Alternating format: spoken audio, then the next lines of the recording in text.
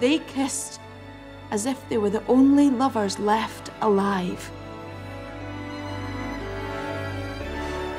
The war melted away.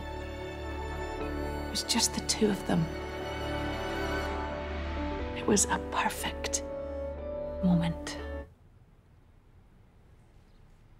I think we all know it wouldn't really go that way, dear.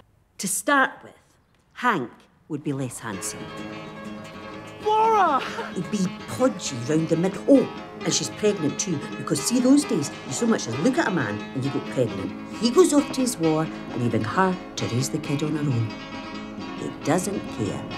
She's alone. He just doesn't. Oh, for goodness sake, Alison. If you're going to go all Angela's ashes on us, then you'd mess her about a lot more. I don't love you, though. You see, I got a wife and kids back at the ranch in Idaho. You, you, you'll always be my special Scotch girl. And how should we deal with this situation? In a ladylike fashion, of course.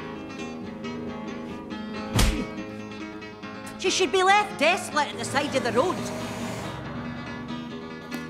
She needs to make him pay! The girl needs to faint or have a miscarriage. She should throw him under the bus. What's that?